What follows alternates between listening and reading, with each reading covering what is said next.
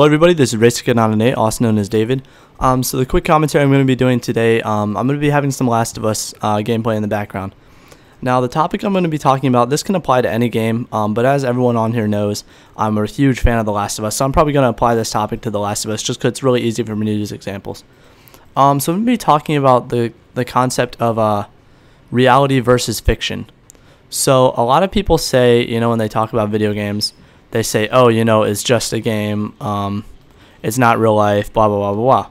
And that's true. Um, video games are not real life. You know, they're completely a fiction world and fantasy fantasy characters portrayed by actors and uh, you know special effects and everything's made on a computer. You know, digitally animated, and it's not real life. Um, but the thing about games is just like movies, um, especially people. I guess you could um, you could relate this to movies. Um, so they're not real life, but they can they can make you feel um, very very real emotions, and you react to the the game or the movie as if it is real life, which um, which is crazy when something's powerful enough to do that.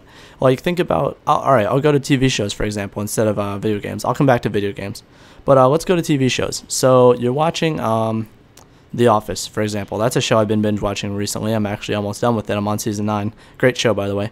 Um, so say that you're binge watching The Office. So when you turn it on on Netflix, you already know it's a show. You know everyone in there is an actor, and you know that they're all just reading lines they memorize, and the situation isn't really happening. They're all just doing it for money because their job, and they're being filmed by cameras.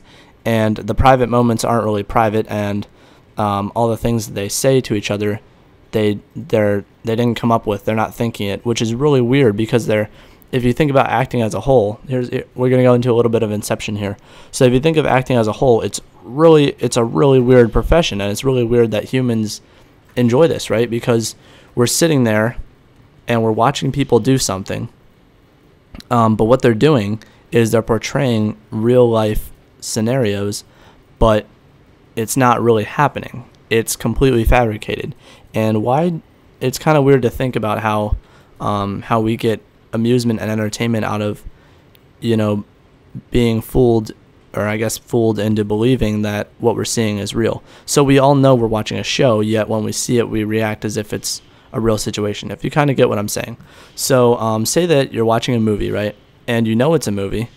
You've been watching this movie for two hours, and it's a it's a war a war movie, a World War II movie and it's really sad because the main character is you know bleeding out and he's you know saying something about you know tell my wife this and tell my kids this and and he's bleeding out and his buddy's like holding him like no no come on sarge you know come on sarge pull through and he dies and he looks up at the sky and and the um the guy that's over him holding him is you know crying and it's really touching and everyone in the audience is tearing up and it's a really powerful movie and everyone says that was a really good movie.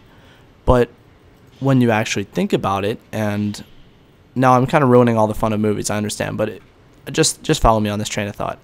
Um, if you really think about it and look through it, the guy that's dying isn't really dying. He's pretending to die and just staring at the sky.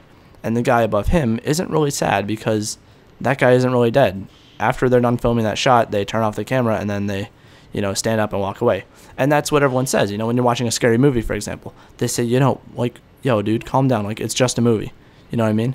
But then at the same time, those same people uh, get really emotional and tear up and get sad when they're watching a sad movie.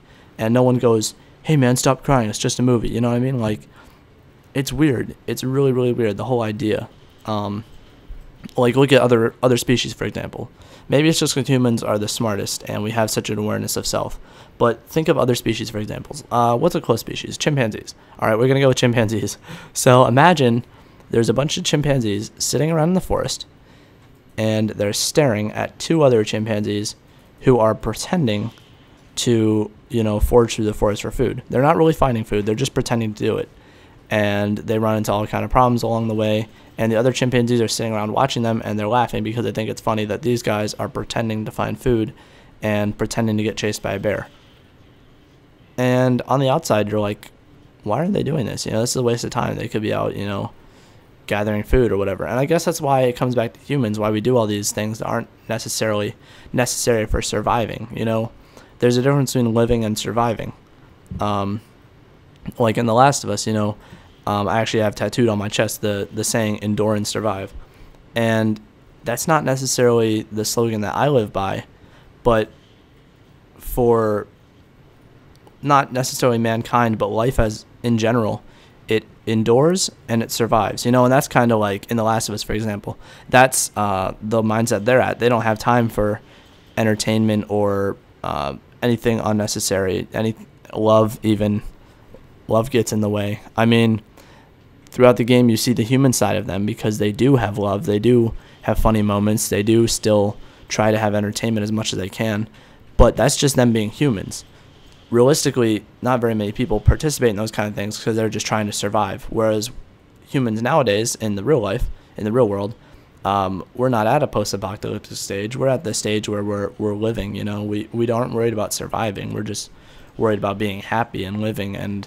and not being bored. You know, which is crazy to think about how we're like animals out in the wild, for example, like a mouse out in the wild the mouse never cares if he's bored. The mouse is constantly, constantly foraging around for food, trying to avoid hawks, dodging down into his hole, feeding his babies, and that's all he does. And then he makes babies so those babies can live on and make babies, and those babies can live on and make babies so the mice never die out.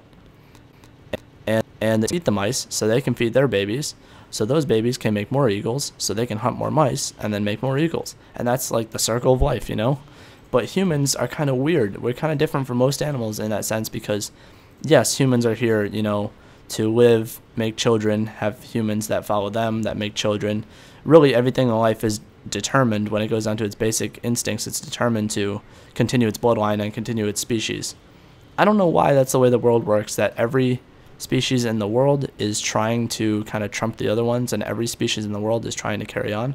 What if there was just a species that was like, that was like, you know what, we're just gonna have fun and we don't really care if there's more of us after. I mean, why does it matter to us? There's gonna be other animals around, but that's not how it is. Every plant, animal, bacteria, archaea, and everything all wants to have, you know, whether it's conscious or sub, what subconscious, not conscious, not like a conscious decision. Every species in the world wants to kind of you know carry on and um and you know survive and that's that's really weird when you think about it. Humans are the only ones that are different where we have that purpose, but we don't really think about it. We are more here to have fun and make families and be happy. People most people have families because it brings them happiness, not necessarily because they want the human because they're like it's not that people don't want the human race to continue. I mean, not very many people will say, "Oh yeah, I want humans to go extinct."